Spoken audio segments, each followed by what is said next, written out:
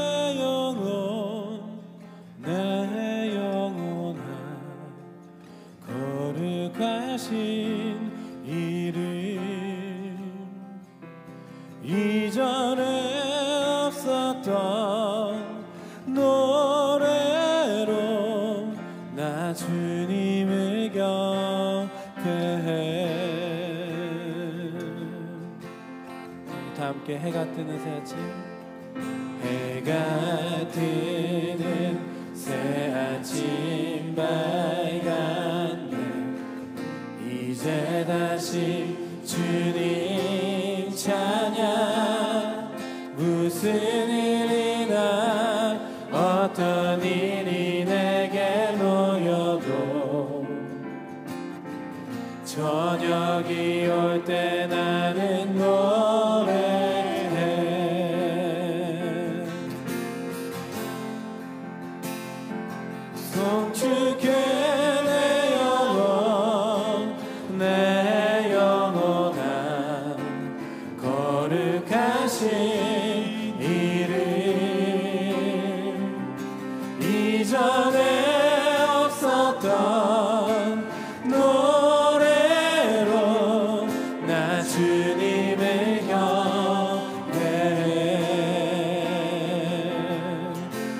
전심으로 노하기를 더디하시는 주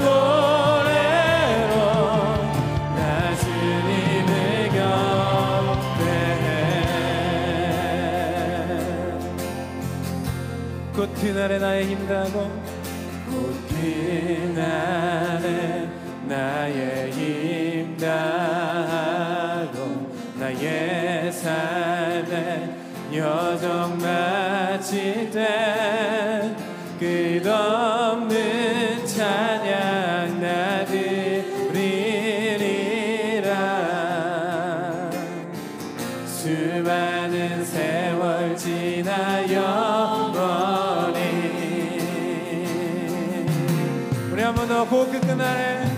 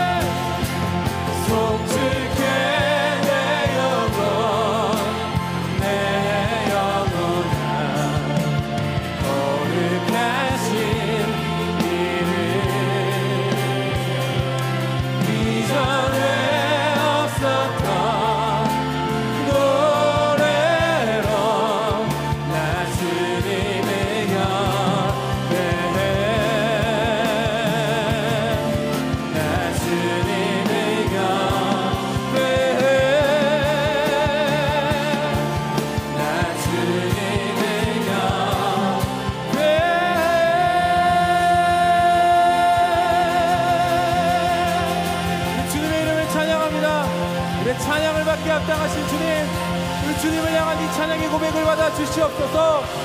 할렐루야. 우리의 찬양을 받으시기 합당하신 주님이 모든 것을 승리하셨습니다. 믿으십니까? 우리 다 함께 자리에서 일어나서 우리가 그 자리에서 일어나서 우리 주님의 이름을 찬양하며 모든 것을 승리하시고 이기신 그 주님의 놀라운 이름을 우리 다 함께 찬양하며 나가기 원합니다. 할렐루야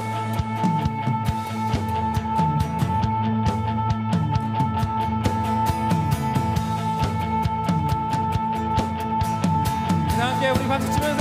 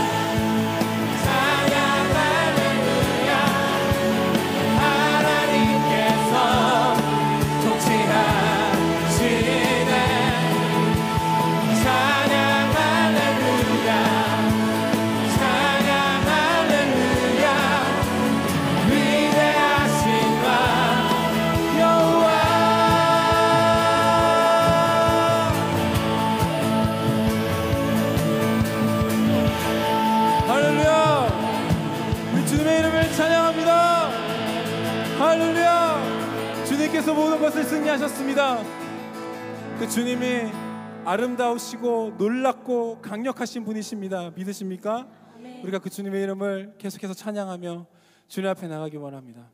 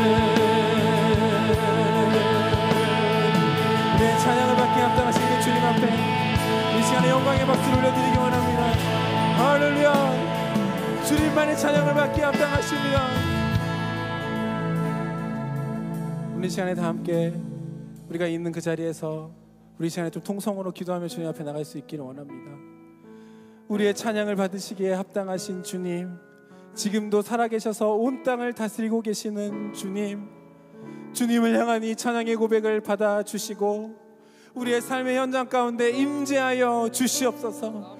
십자가의 능력으로 승리의 삶을 살아가게 역사하여 주시옵소서.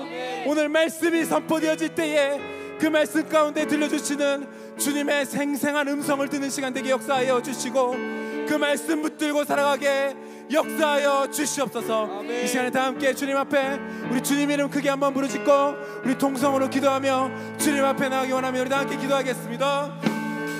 주여! 아버지 하나님 주님 앞에 주의 능력과 은혜와 이름을 구합니다. 아버지 하나님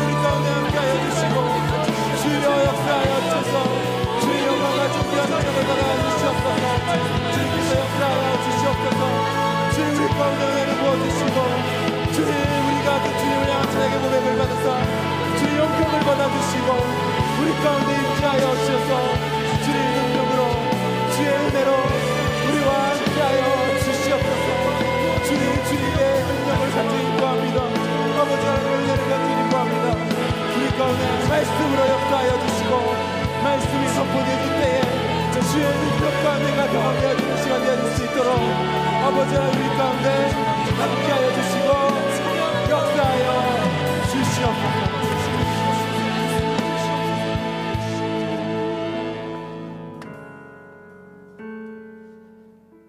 지금도 온 땅을 두루 감찰하사 전심으로 하나님을 향하는 자들에게 능력을 베푸시는 살아계신 하나님 아버지 이 시간 삶의 처소에서 골방에서 하나님께 예배드리는 주의 백성들을 주목하여 주시고 주님을 갈망하며 나아가는 그 자리마다 하나님의 임재를 허락하여 주시옵소서 평강을 허락하여 주시고 주님의 구원을 보여 주시옵소서.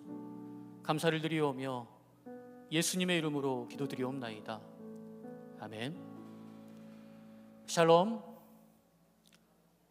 주님 안에서 안녕하신지요? 죽음을 이기고 부활하신 우리 주님의 평강이 이 시간 영상으로 함께 예배드리는 모든 분들과 함께 하기를 빕니다. 오늘 여러분과 함께 나누고 싶은 하나님의 말씀은 요한복음 16장 1절에서 3절 말씀입니다. 우리 함께 읽겠습니다.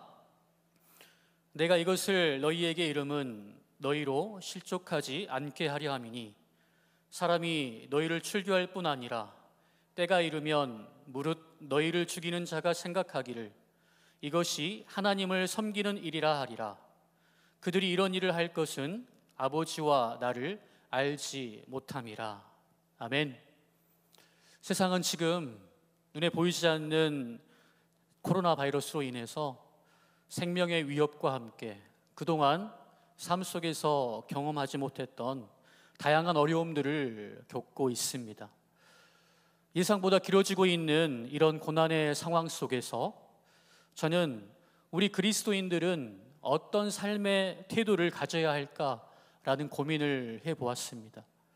그리고 세 가지 삶의 태도를 생각해 보았어요. 먼저 이 세 가지 삶의 태도를 여러분과 나누기 원합니다.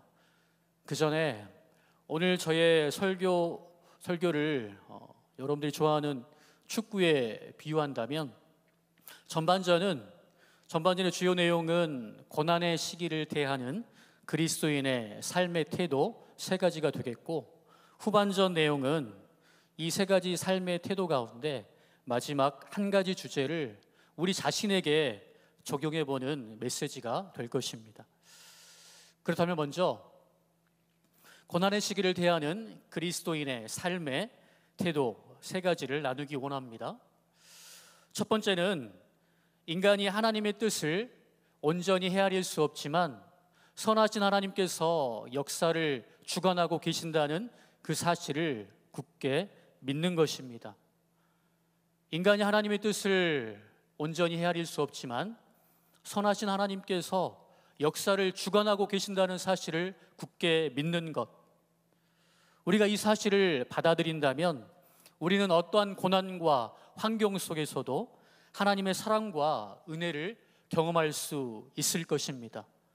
왜냐하면 제럴드 시처가 그의 책 하나님의 뜻, 뜻에서 말한 것처럼 믿음이란 비록 삶이 우리의 바람대로 풀리지 않는 것 같을지라도 하나님의 숨은 뜻이 하늘에서 이룬 것 같이 땅에서도 이루어지고 있음을 믿는 것이기 때문입니다.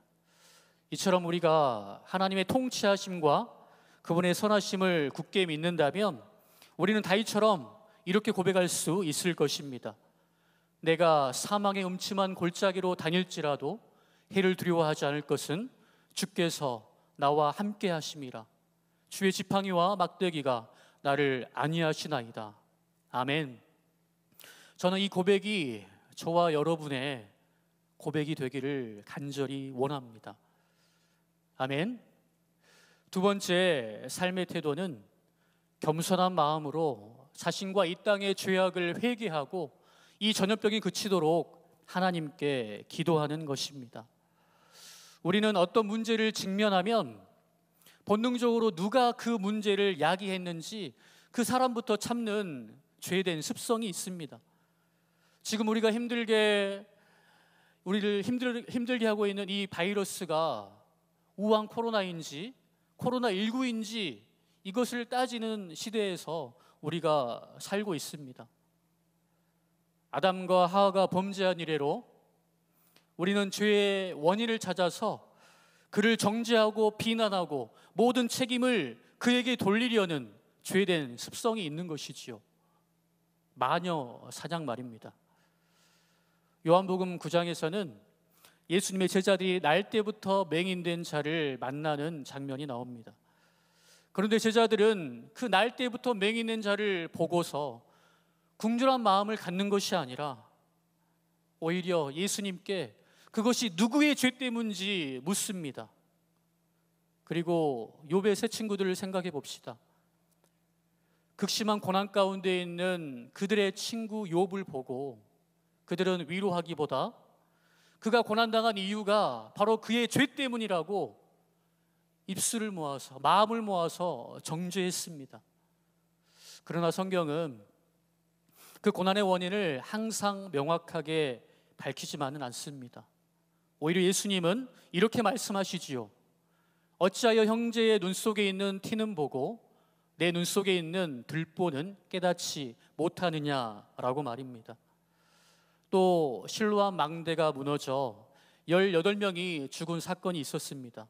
이 사건에 대해서도 예수님은 누구의 탓인지 말씀하지 않으셨습니다. 오히려 우리 예수님은 우리의 시선과 우리의 마음이 회개에 향하도록 하셨습니다.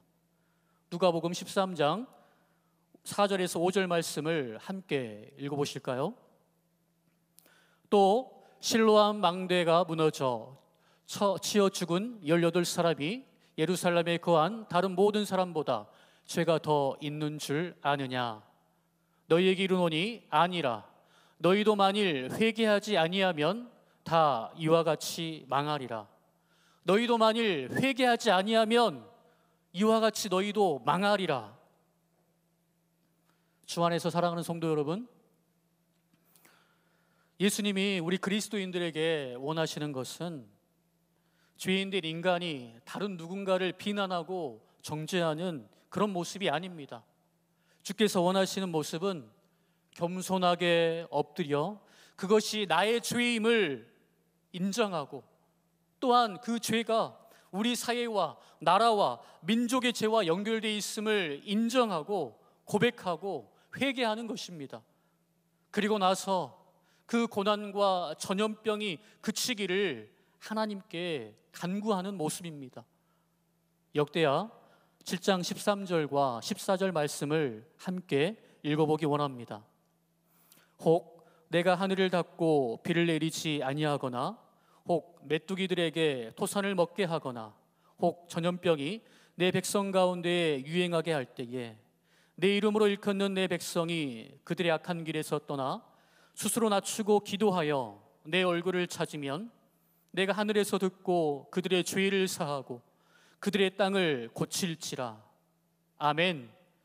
저는 이 땅의 모든 그리스도인들이 이 말씀처럼 누구를 탓하고 정죄하고 비난하는 소리를 그치기를 원합니다. 오히려 이 말씀에 순종하여서 우리가 먼저 악한 길에서 떠나서 우리 스스로를 낮추고 하나님을 찾는 그런 그리스도인이 되기를 간절히 소망합니다. 우리가 이 말씀대로 순종하고 나아간다면 니누의 백성의 회개를 들으시고 니누에를 구원하신 하나님께서 지금 이 위기 가운데 있는 대한민국과 전 세계 모든 그리스도인들의 기도를 듣고 우리를 구원하실 것을 믿습니다.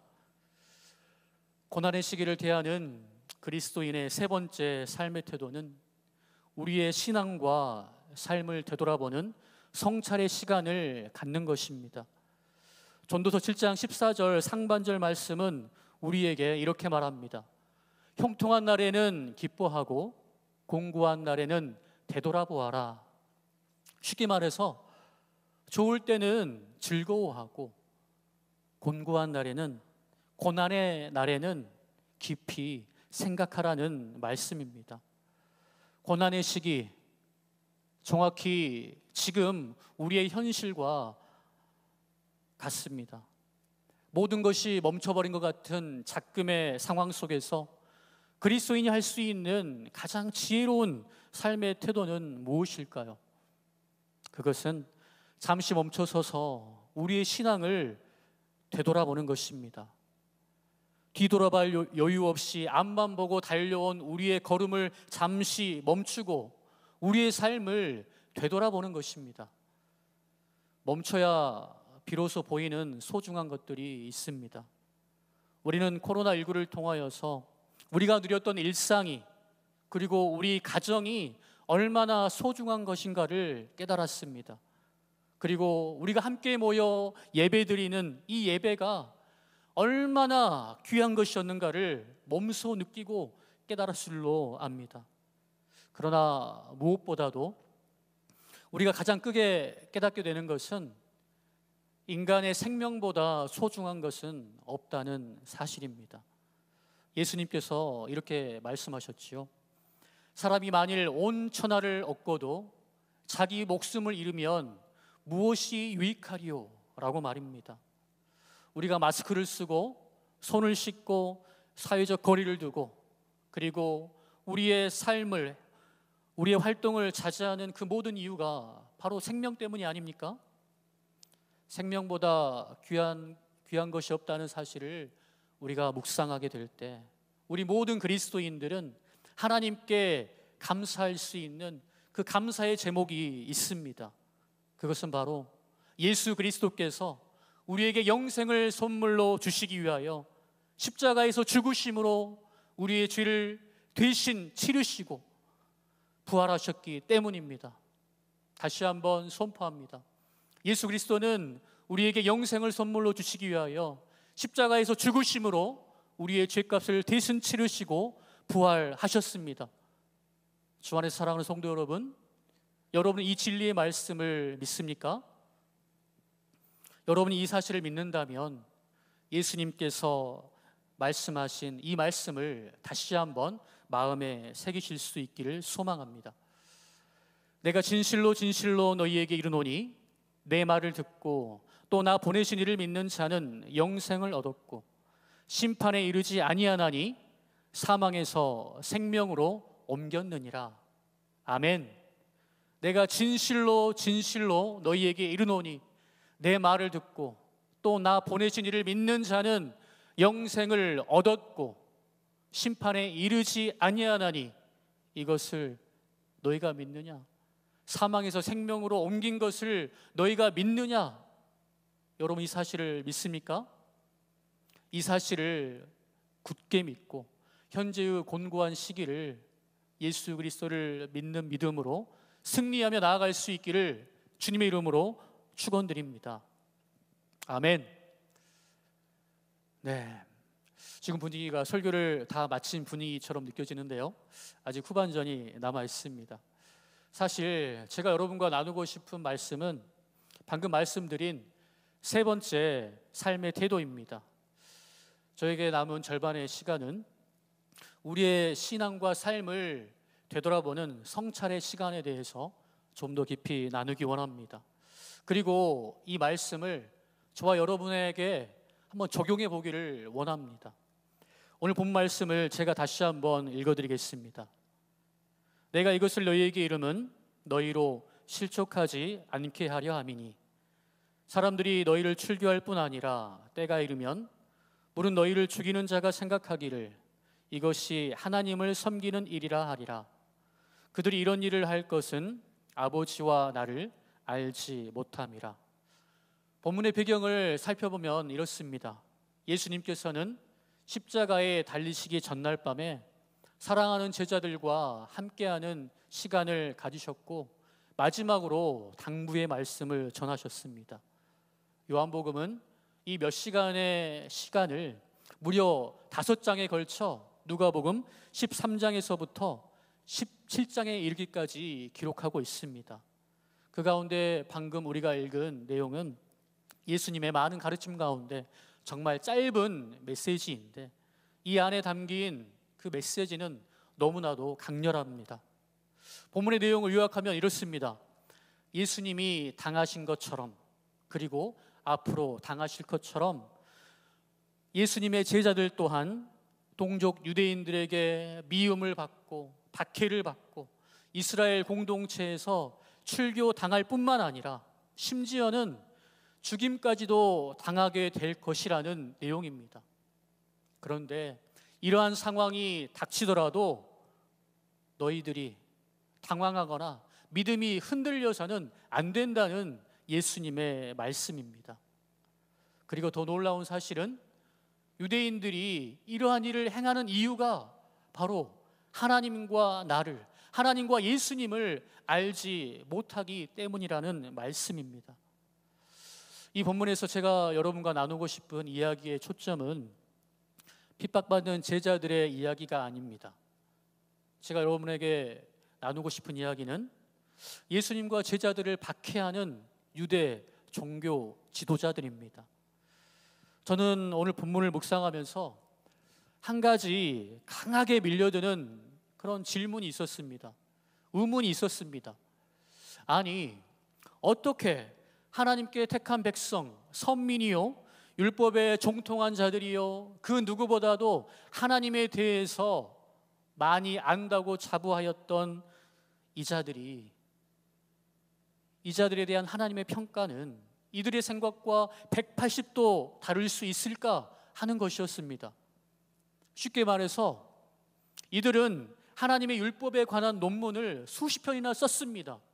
그런데 정작 그 실상은 논문은 패스가 되지 않았고 낙제 점수를 받았고 정작 그들은 하나님을 알지 못한다는 것입니다.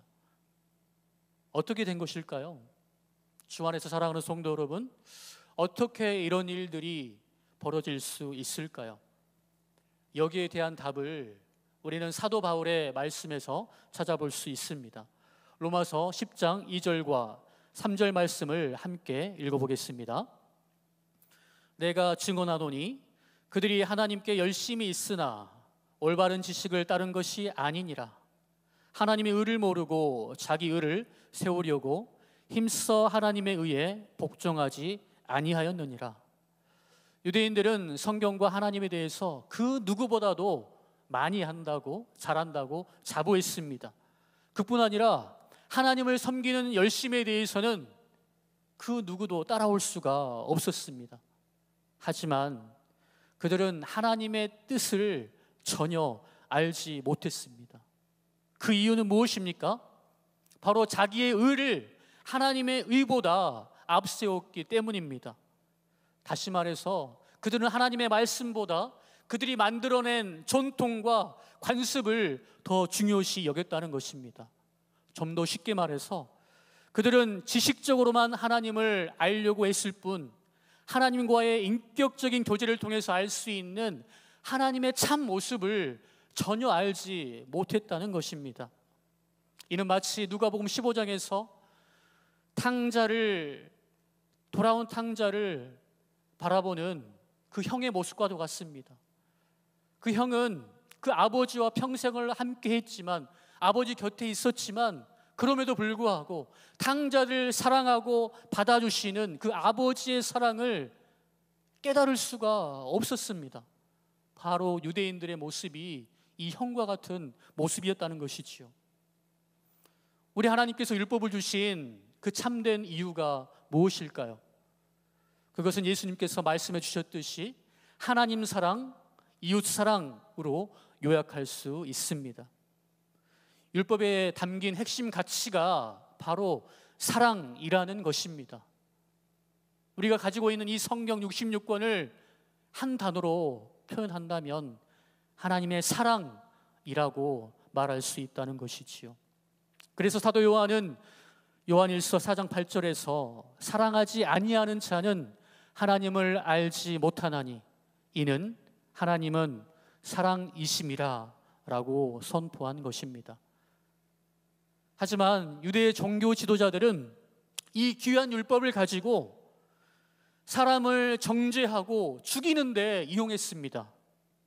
그래서 결국 오늘 본문에서 예수님께서 예언한 그 내용이 현실에서 그대로 이루어졌습니다. 유대인의 대표라고 말할 수 있는 사울, 후에 바울이 된 이 사울을 생각해 보십시오. 이 사울은 예수님과 교회를 박해했습니다. 뿐만 아니라 스데반 집사를 죽이는데 앞장선 그런 인물입니다. 여기서 우리는 세 가지 생각해 볼 그런 질문이 있습니다. 첫 번째 질문은 유대인이 알지 못했던 하나님과 예수님은 진정 어떠한 분이신가 하는 것입니다. 조금 전에도 말씀드렸지만 하나님은 사랑이십니다. 그런데 유대인들에게 하나님은 너무나도 무서우신 하나님으로 기억되고 있는 것 같습니다. 아직도 유대인들에게 유일신 하나님은 가까이 하기엔 너무 먼 당신 같습니다. 지극히 높이 계시기만 한 분인 것 같습니다. 그러나 그것은 그들이 성경에 대해서 하나님을 제대로 알지 못하고 오해했기 때문입니다. 우리 조금만 한번 생각해 봅시다. 아담과 하하가 범죄했을 때 하나님은 그들을 위하여서 가죽 옷을 지어 입혀 주셨습니다. 아브라함과 모세에게는 끊임없는 기회를 주셨습니다. 또한 이스라엘의 불신앙으로 인하여서 하나님께서 모욕적인 그 대우를 받으셨을 때에는 그것을 참아내셨습니다. 아니, 오히려 하나님은 끝까지 더 많은 사랑을 베풀어 주셨습니다. 우리가 성령의 조명하심 아래 구약 성경을 볼 수 있다면 구약 성경은 무한하신 사랑의 마음을 품고 계신 성부 하나님을 드러내고 있음을 깨닫게 될 것입니다. 출애굽기 34장 6절과 7절 말씀을 보면 하나님이 쓰신 자기소개서를 확인할 수 있는데 우리 다 같이 한번 읽어보겠습니다. 시작.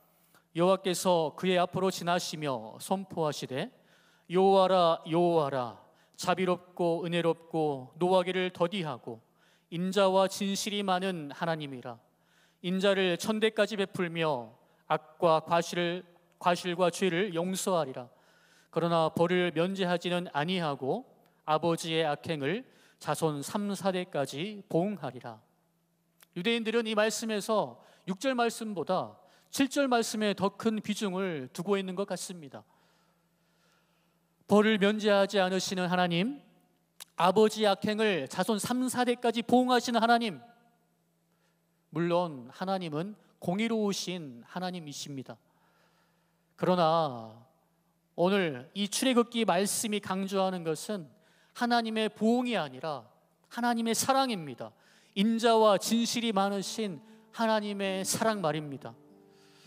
영원히 자기 백성을 포기하지 않으시는 그 하나님의 헤세드 사랑을 강조하고 있는 것입니다. 숫자적으로도 천대와 삼사대는 비교가 되지 않습니다. 하박국 선지자는 그래서 진노 중에도 국류를 잊지 마옵소서라고 기도할 수 있었던 것입니다. 또한 성 어거스틴은 우리에게 이런 말을 남겼지요. 하나님께서는 우리 각 사람을 마치 사랑할 사람이 우리밖에 없는 것처럼 사랑하신다라고 말입니다. 여기서 우리가 두 번째로 생각해 볼 질문이 있습니다. 그것은 이러한 하나님의 사랑을 알지 못하는 그들의 특징이 무엇인가 하는 것입니다. 이러한 하나님의 사랑을 알지 못하는 자들의 특징은 사도 바울이 쓴 자기소개서에 잘 기록되어 있습니다. 디모데전서 1장 13절 말씀을 함께 읽어보겠습니다. 내가 전에는 비방자요 박해자요 폭행자였으나 도리어 국류를 입은 것은 내가 믿지 아니할 때에 알지 못하고 행하였습니다. 비방자, 박행, 박해자, 폭행자 이 단어를 들을 때 여러분들은 어떤 마음이 드시나요? 바로 사랑 없음입니다. 미움과 폭력과 교만과 자기 의로 가득 찬 것입니다. 그렇다면 이제 세 번째로 하나님께서 사랑하심을 사랑이심을 알고 믿었던 자들의 특징은 무엇일까요? 가지가 포도나무에 붙어 있으면 영양분과 생명을 공급받아 포도 열매를 맺습니다. 이와 같이 우리가 하나님의 그 사랑, 그 하나님께 붙어 있다면 우리는 사랑의 향기를 그리고 사랑의 열매를 맺게 될 것입니다. 우리가 평강의 왕이신 그리스도 안에 거한다면 우리 또한 원수를 사랑하며 우리를 박해하는 자를 위해서 진심으로 기도할 수 있을 것입니다. 주님은 제자들에게 가르쳐 주신 대로 십자가에서 자기를 조롱하고 채찍질하고 옆구리 허리를 찌르는 그들을 용서하셨고 그들을 위해 기도하셨습니다. 아버지, 저들을 사하여 주옵소서. 자기들이 하는 것을 알지 못함이니이다. 그리고 훗날 예수님 안에서 거했던 예수님께 붙어 있었던 스테반 집사님은 자신을 돌로 치는 유대인들에게 이렇게 기도했습니다. 무릎을 꿇고 크게 불러 이르되 주여 이 죄를 그들에게 돌리지 마옵소서. 이것은 가식적인 기도가 아니라 진심으로 그들을 국률이 여기는 마음으로 용서하는 마음으로 기도한 것입니다. 저는 이런 성경 이야기를 들을 때마다 그리고 읽을 때마다 솔직히 한 사람의 성도로서 많은 부끄러움을 느낍니다. 그리고 필립 얀시 목사님의 책 제목처럼 아, 내 안에 하나님이 없다. 라는 그런 탄식이 쏟아질곤 합니다. 그리고 노래 가사처럼 내 안에 내 속에 내가 너무도 많아 라는 그런 고백이 나옵니다. 오늘 이 말씀을 준비하면서 어쩌면 목사인 제가 오늘 본문 속에 등장하는 유대 종교 지도자들의 모습이 아닌가 하는 생각을 해봅니다. 우리는 이러한 성찰의 시간을 통해서 우리 안에 있는 잘못된 감정들을 내려놓을 수 있습니다. 그리고 잘못된 삶의 우선순위를 바로잡을 수 있습니다. 그리고 무엇보다도 주객이 전도된 하나님과 우리와의 관계를 예수님과 우리와의 관계를 바로잡을 수 있습니다. 이제 말씀을 맺겠습니다. 고난에 대하는 고난을 대처하는 우리 그리스도인들의 삶의 태도 그것은 우리의 신앙과 삶을 되돌아보는 것이라고 저는 말했습니다. 지금의 공고한 날에 우리 모든 신앙인들이 우리 자신의 신앙을 되돌아보는 복된 시간을 가질 수 있기를 소망합니다. 그리고 지금 여, 지금 저와 여러분의 모습이 예수님을 닮았는지 아니면 유대 종교 지도자들을 닮았는지 한번 성찰하는 시간을 갖기를 원합니다. 나무는 그 열매로 알 수 있는 것처럼 그리스도인은 사랑으로 분별할 수 있습니다. 우리에게 아무리 예언하는 능력이, 능력이 있고 산을 옮길 만한 믿음이 있다 하더라도 그리고 부와 명예를 가졌다 하더라도 사랑이 없으면 아무것도 아닌 것입니다. 우리가 사랑을 잃어버리면 세상에서 우리가 그리스도의 제자임을 증명할 수 있는 길은 전혀 없습니다. 지금 공부한 날에 저와 여러분의 혈관에는 예수 그리스도의 사랑이 흐르고 있는지요? 아니면 증오와 비판의 그런 마음들이 흐르고 있는지요? 우리 예수님께서 사랑을 가지고 끝까지 주인들을 품고 용서하신 것처럼 저와 여러분들이 그 십자가의 길을 그 순교자의 길을 함께 걸어갈 수 있기를 주님의 이름으로 축복합니다. 우리 시간 함께 찬송하면서 기도하며 나아가기 원하는데요. 우리 십자가의 길 순교자의 삶이라는 찬양을 함께 부르기 원합니다.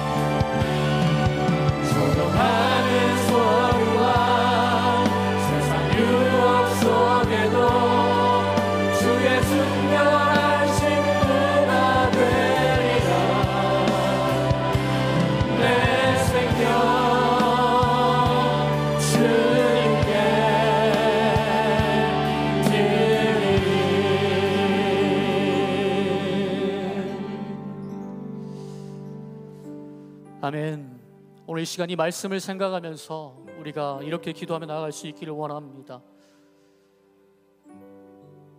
우리의 마음 속에 예수님의 사랑이 시내처럼 흘러 우리가 가는 곳마다 생명이 살아나고 하나님의 영광이 드러나게 하여 주시옵소서. 우리 말씀을 생각하면서 주여 한번 부르짖고 기도하며 나가기 원합니다. 주여! 살아계신 하나님 아버지, 우리 심령 가운데 아버지 주님의 사랑이 흘러기를 원합니다. 아버지 우리의 심령 우리 마음 가운데 주님의 사랑이 흘러으로 말미암아 우리가 가는 곳마다 생명이 살아나고 그리스도의 영광이 하나님의 영광이 드러나기를 간절히 원합니다. 하나님 아버지 우리 가운데 임하여 주시고 우리의 기도를 들어주시옵소서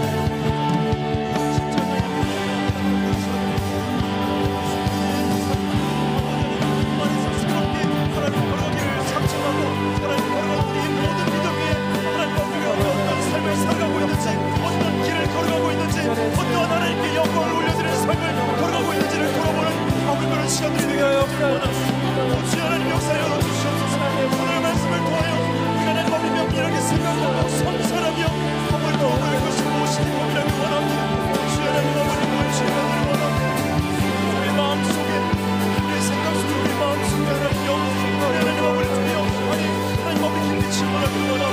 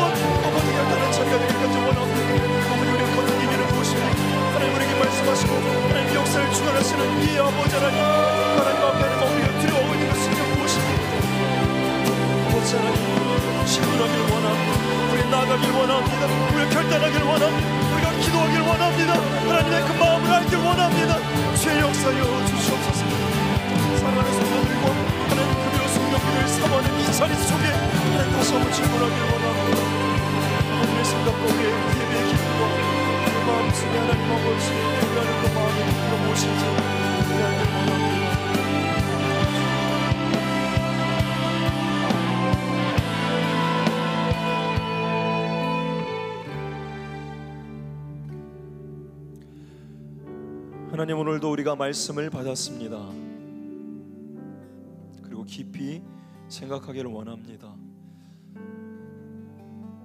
역사를 주관하시는 그 하나님께서 이 모든 사태를 알고 계시고 그 가운데 또 아파하고 계실 것이고 이 땅을 고쳐 주시기를 원하신다고 우리는 믿습니다. 그런 하나님 이 시간을 통하여서 분명 우리 스스로에게 질문해 보아야 할 것입니다. 저는 오늘 말씀을 들으면서 계속 이 시간을 통해서 나 자신을 성찰해야 한다는 그 메시지가 깊이 다가왔습니다. 하나님 이 시간 그냥 무엇인가를 불평하고 불만을 가지고 또 그냥 불편하다고만 생각되어지는 여러 가지 일들에 그리고 나에게 닥쳐지는 여러 가지 어려움들에 온전히 마음을 빼앗겨서 정말로 하나님께서 나에게 하고 싶은 메시지를 듣지 못하는 것은 아닙니까? 성령님 말씀하여 주시옵소서. 진정한 예배자로서 이 시간을 통해서 내가 회복해야 되는 것이 정말 무엇인지 깨닫게 하여 주시옵소서. 하나님, 하나님께서 우리에게 회개하기를 원하신다고 말씀하셨습니다. 아니 회개하지 아니하면 망한다고 말씀하셨습니다. 그동안 우리가 드렸던 금요기도의 이 자리, 예배 자리는 정말 진실된 것이었는지 아니 인터넷으로 예배 드리기 때문에 하나님 앞에 온전히 예배하지 못한다는 그런 생각들이 나를 사로잡고 있지는 않은지 멀리 떨어져 있지만 지금도 하나님 우리와 함께 하시고 지금도 예배하는 이 자리에 우리 함께 하시고 홀로 있지만 나와 함께 하시는 하나님 앞에 하나님 앞에 정말로 돌이켜야 하는 그 문제는 무엇입니까? 하나님 정말 내 가슴 속에 질문하게 하여 주시옵고 돌아보게 하여 주시옵고 회개하는 자리가 될 수 있도록 성령님 역사하여 주시옵소서. 우리 주여 말씀하여 주시옵소서. 한번 부르짖고 기도하시도록 하겠습니다. 주여 말씀하여 주시옵소서. 하나님 아버지 시간 가운데 깨닫기를 원합니다. 아버지 하나님 질문하기를 원합니다. 돌이켜보기를 원합니다. 주님 아버지.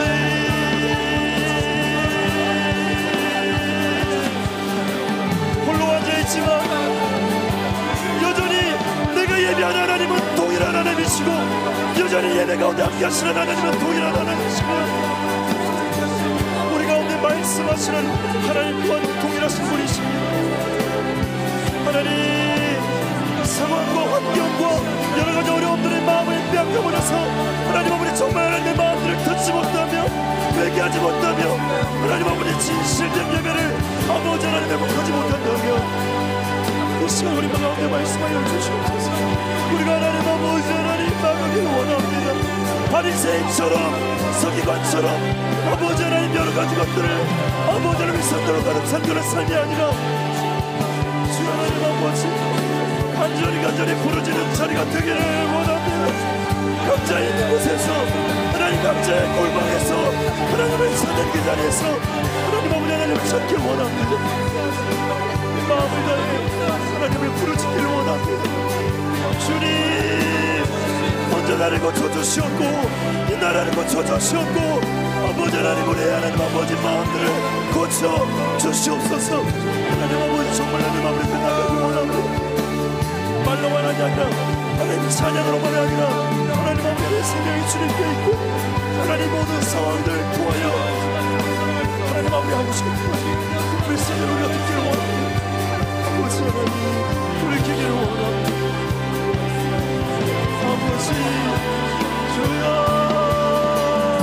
아버지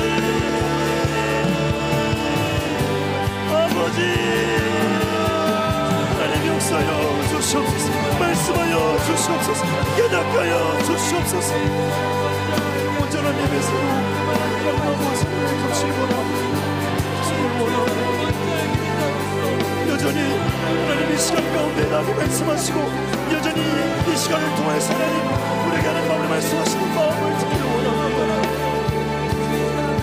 아버지 아버지.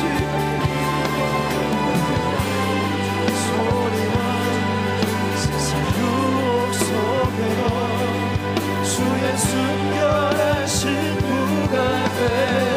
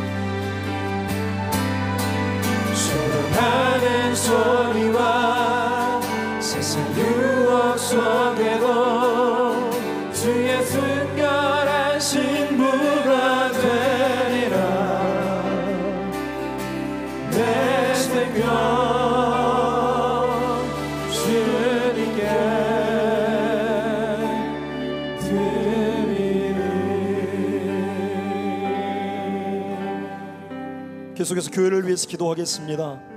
이제 4월 12일 부활주일을 시작으로 본격적으로 주일 예배가 오픈되도록 준비하고 있습니다. 염려와 두려움으로 가득한 그런 시작들이 아니라 담대함과 부활의 기쁨으로 가득한 아름다운 회복이 시작이 되게 하여 주시옵소서. 코로나19 대응위원회 지혜와 청명을 주시기를 기도합니다. 모든 성도들이 다시 모여서 안전하고도 아름다운 예배로 나아갈 수 있도록 온전히 준비되게 하여 주시옵소서.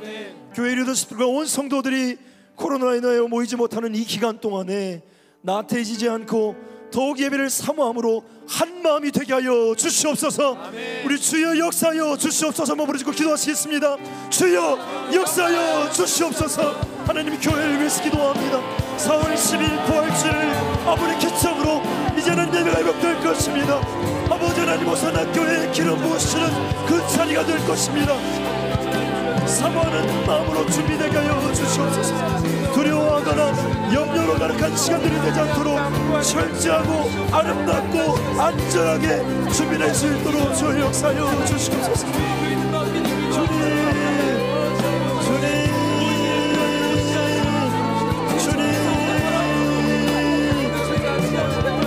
아버지 교회 하나님 아버지 머리 되시고 호산나 교회를 통치하시며 호산나 교회의 주인 되시며 하나님 아버지 나가는 주님 우리가 하나님 예배를 준비할 때에 정말 부활하신 주님처럼 모든 생명과 모든 부활의 아버지를 그러내신 주님 앞에 불안을 원하는 아버지 사망의 힘으로부터 이기시고 구원하신 생명 앞에 우리가 하나님 앞에 달려가기를 원합니다. 주님 그렇게 준비되게 하여 주시옵소서. 그렇게 하나님 앞을 준비되게 하여 주시옵소서. 하나님 앞을 그렇게 나가길 원합니다. 하나님 아버지 하나님 아름다운 구원이 되게 하여 주시옵소서. 아버지 하나님 우리가 준비되길 원합니다. 이 예배 하나님 앞에 높이길 원합니다. 그렇게 준비될 수 있도록 성도들을 지켜주시옵소서. 마음을 지켜주시옵소서. 나한테 지지 아니하며 예배를 더욱 사모하고 예배를 더욱 준비하고 하나님 앞에 나갈 수 있는 그런 시간들이 될수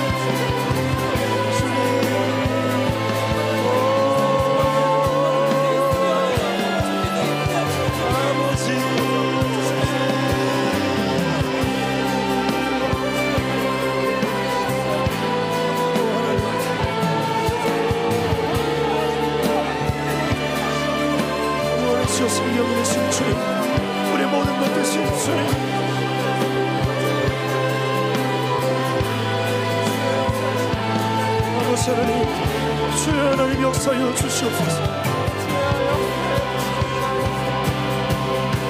하나님 하나님 4월 10일 이 부활주일에 우리가 진정한 부활의 기쁨을 맛보는 그런 예배가 되기를 소망합니다. 하나님 온 성도들이 준비하며 기도하며 부활의 기쁨과 생명 되신 주님을 기억하며 모이게 하여 주시옵소서. 가장 아름답고 가장 안전하고 보호하심 안에 모든 예배가 순조롭게 진행되게 하여 주시옵소서.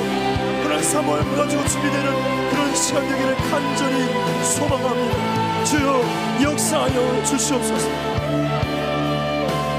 주님 말씀하셨습니다. 무릇 살고자 하는 자는 죽을 것이요. 무릇 나를 위해 죽고자 하는 자는 영원히 살 것이라고 말씀하셨습니다. 하나님 그 복음 앞에 우리에게 담대함을 허락하여 주시옵고 생명 되시고 우리의 영혼의 안전 되시고 우리의 모든 것 되신 주님 앞에 부활주의를 기점으로 우리의 모든 예배가 온전히 회복되게 하여 주시옵소서. 하나님 성도들에게 사모함을 허락하여 주시옵소서. 하나님 두려움이 아니라 떨림이 아니라 하나님 앞에 함께 예배하는 그 기쁨을 그 부활의 기쁨을 함께 누릴 수 있도록 역사하여 주시옵소서.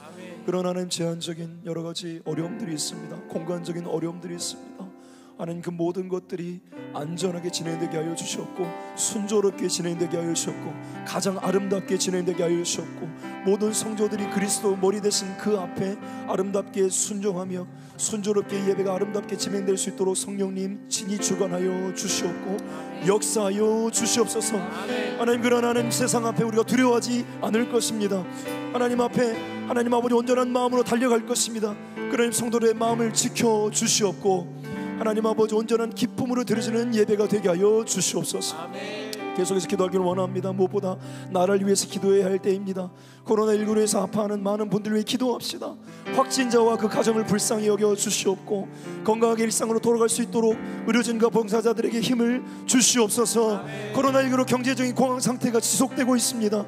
하나님 코로나19를 잘 극복하고 일상의 아름다움을 회복하며 극심한 경제난을 지도부와 온 국민이 힘을 합부해서 잘 극복하게 극복할 수 있도록 주의 역사하여 주시옵소서. 특별히 4월 15일 제21대 국회의원 선교를 위해서 기도합시다. 하나님께서 이 땅에 세우신 아름다운 가치들을 회복시킬 진실되고 정의로운 일꾼들이 일어나고 선출되게 하여 주시옵소서. 우리 주여 한번 부리고 기도하시겠습니다. 주여 하나님 아버지 나라를 위해서 기도합니다. 하나님 대한민국 이 땅을 긍휼여 주시옵소서.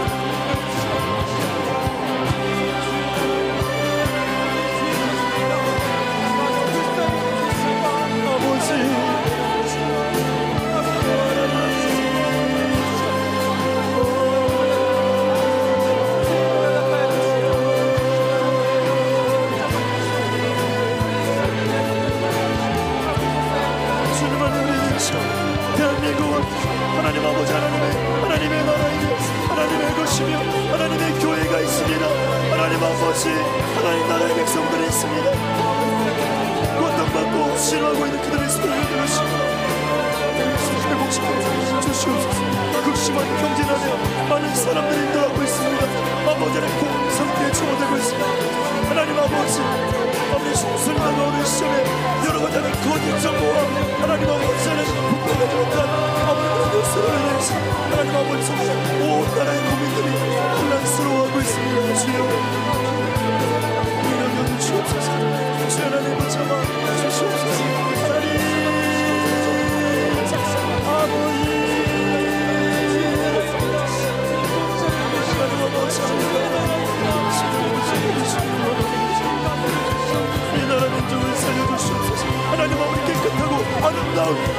치와 선거가 되게 하여 주시옵소서. 하나님 아버지는 의롭고 신실한 하나님의 사람들이 세워지게 하여 주시옵소서. 하나님 아버지 실망하고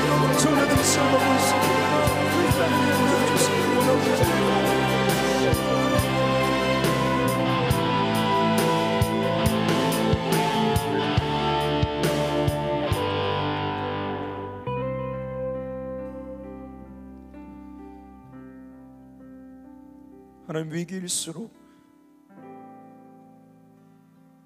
우리나라 그 모든 어려움과 고난과 역경들을 잘 견뎌냈고 또 하나가 되었고 지금껏 하나님이 보호하신 가운데에 지금의 아름다운 나라가 되었습니다.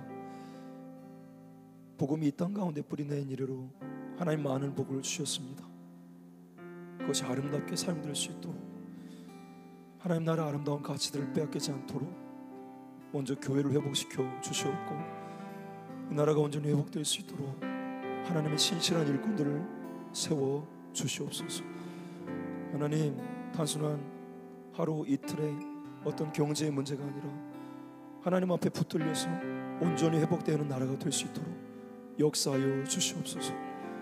하나님 진정한 아름다운 가치들을 보게 하여 주시옵소서. 국민들이 가짜 뉴스에 현혹되지 아니하고 진실의 눈을 뜨게 하여 주시옵고 주님께서 바라보게 하시는 정의로운 것들과 아름다운 가치들에 하나님 아버지 영적으로 아버지 깨끗해지고 분명해진 하나님 나라가 되게 하여 주시옵고 세계 선교하는 대한민국의 나라 아버지는 그것들을 빼앗기지 않도록 주의 나라를 사용하여 주시옵소서. 계속해서 기도합시다. 특별히 젊은이들 위해서 기도하기를 원합니다. 하나님 함께 예배하지 못하는 이 기간 동안 영적으로 무너지지 않도록 우리 젊은이들을 지켜 주시옵소서 예배의 사모함이 배가 되게 하여 주셨고 예배의 소중함을 가슴 깊이 새기게 하여 주시옵소서. 무너진 자리들을 수축하기를 원합니다. 지속되는 영상 예배로 인해서 안일해진 경건의 시간들이 다시 세워지고 말씀과 기도의 자리를 지켜내게 하여 주시옵소서. 하나님께서 우리를 부르신 목적대로 표대를 향해 달려가는 삶을 살아가기 위해 일상의 삶에 성실하고 부지런하며 절제하는 삶을 살아가게 하여 주시옵소서. 우리 젊은이들 위해서 기도하도록 하겠습니다. 기도하시겠습니다. 하나님 아버지 기도하기를 원합니다. 하나님 청년들이 하나님의 말씀 안에 변하기를 원합니다.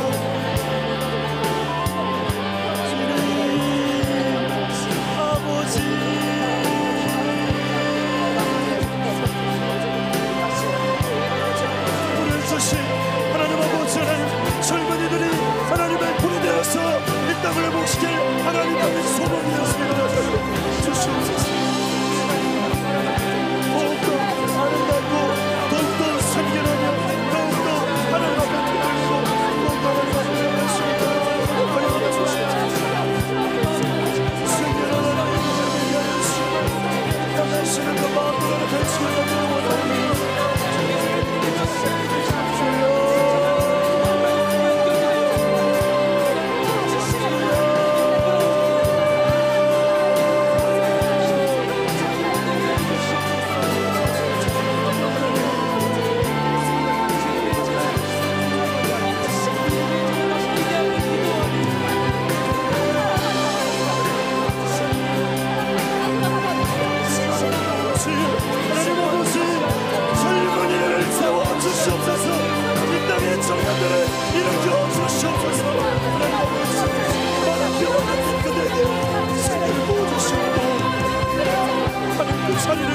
하소서 일어나게 하소서 일어나게 하소서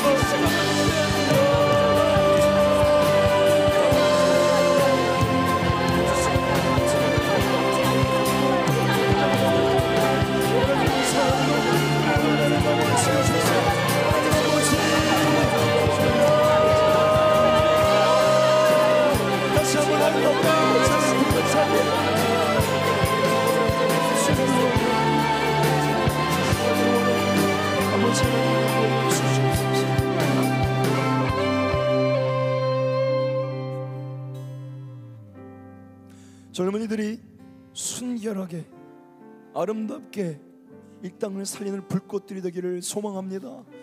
주여 하나님 다시 한번 그들에게 마음속에 하나님을 갈망함과 그 오늘 말씀하신 것처럼 내가 너희를 향한 그 뜻과 그 마음이 여전히 사랑임을 깨닫게 하여 주시옵고 묻어진 그 자리에서 오늘 이 자리 이 예배를 통해서 일어나게 하여 주시옵소서 하나님 우리는 뒤로 물러가서 멸망당할 자가 아니라고 말씀하셨습니다. 믿음의 결국 곧 영혼을 구원함에 이르는 그런 자라고 말씀하여 주셨습니다. 그런 오늘 다시 한번 일어나서 하나님 앞에 전진하는 신앙생활 할 수 있도록 역사하여 주시옵소서 깨워 주시옵소서. 그들의 잠자는 영혼들을 깨워 주시옵소서. 이 예배를 향한 그 갈망함을 깨워 주시옵소서. 말씀을 향한 사모함을 깨워 주시옵소서. 일어나 빛을 발하는 이 시대의 주역들이 되게 하여 주시옵소서. 사모함을 주시옵고 소망을 주시옵소서. 하나님의 꿈과 비전을 허락하여 주시옵소서. 마지막으로 아파하고 있는 환우들 위해서 기도하겠습니다. 특별히 보배를 위해서 기도합시다. 하나님 지금도 힘겨운 사투를 벌이고 있는 보배를 기억하여 주시옵고 하나님 오늘 밤 보배를 꼭 안아 주시옵고 하나님의 따스함으로 회복시켜 주시옵고 보배가 일어날 수 있도록 성령님 역사해 주시기를 간절히 원합니다. 하나님 아버지 주께 능치 못함이 없음을 우리는 믿고 강구합니다. 그러나 하나님 보배를 회복시켜 주시옵소서. 권조사님과 사모님 건강 가족들의 건강을 지켜 주시옵고 샘을 허락하여 주시옵소서 하나님 또한 어, 이 시간 정말 치열하게 사투를 벌이고 있는 많은 환우들이 있습니다. 그들 가운데 주님 손잡아 주시옵고 예수 그리스도의 보혈의 능력 그 이 권세로 일어나게 하여 주시옵소서. 우리 마지막으로 환우들 위해서 한번 합심해서 기도하도록 하겠습니다. 기도하시겠습니다. 하나님 아버지 우리 보배를 위해서 기도합니다. 하나님 보배를 회복시켜 주시옵소서. 살려 주시옵소서. 하나님 아버지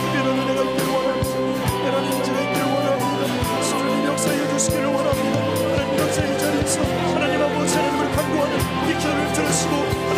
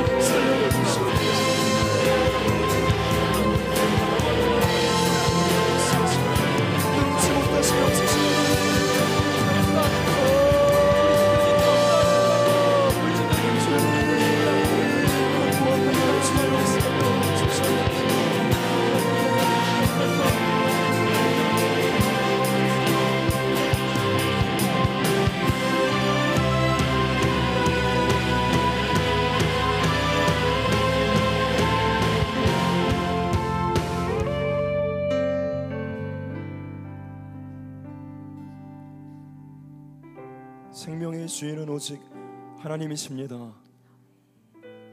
보배의 생명은 하나님의 것입니다. 보배는 보배의 진정한 주인은 하나님이십니다. 주님 우리가 간과 없기는 보배가 이 모든 고통과 아픔 가운데 회복되기를 소망합니다. 성도의 눈물과 기도를 들으시고 하나님 속히 고쳐 주시옵소서. 권전사님과 가정을 지켜주시고 또 이 시간 어, 정말 하나님 아버지 사투를 벌이고 있는 많은 환우들 주님 붙잡아 주셔서 하나님의 특별한 치료하심이 있게 하여 주시옵소서. 믿음으로 간구하옵니다. 예수님의 이름으로 기도드립니다. 계속해서 여러분의 각자의 자리에서 기도하시도록 하겠습니다